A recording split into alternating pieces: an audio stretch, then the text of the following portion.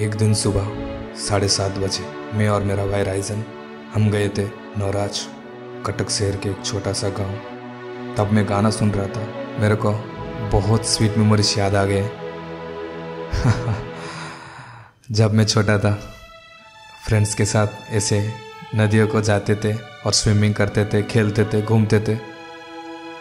वैसे कुछ यादें याद आ रहे थे तो मेरा मन किया कि क्यों ना आज मेरा मोमेंट्स को कैप्चर करें रिकॉर्ड करें और आप लोगों को दिखाए। तो मैं निकल पड़ा फ़ोन रिकॉर्ड चालू किया स्टार्ट किया।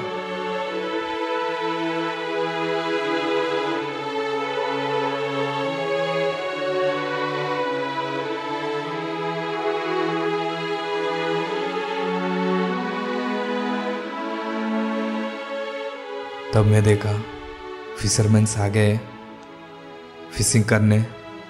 तो मेरे को लगा यही अच्छा मौका है उनको कैप्चर करने के लिए। तब कैमरा निकाला और इस मोमेंट को कैप्चर किया। कैप्चर करते वक्त मेरे को बहुत अच्छा सा फील हो रहा था। पता नहीं क्यों, लेकिन मन में सुकून मिल रहा था। चेहरा में स्माइल था। पता नहीं क्यों इतना रिलैक्स फील कर रहा था। वहाँ पे ठंडी हवा बह रही थी और तब फॉग भी थोड़ा थोड़ा था अच्छा लग रहा था। ठंड भी थोड़ा लग रहा था।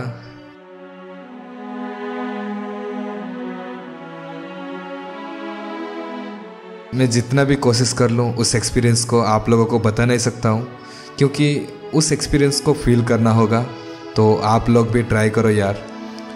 कभी ना कभी जाओ नदियों को, पहाड़ों को देखने के लिए। वहाँ नेचर का इतना पावरफुल रिलैक्सिंग पावर है ना? फील करके आओ गाइस बस, और कुछ नहीं। जिसे आप लोग देख पा रहे हो इधर, जितने सारे नौका हैं, नदी किनारों में, रेस के लिए, भागने के लिए, वो सब प्रस्तुत है।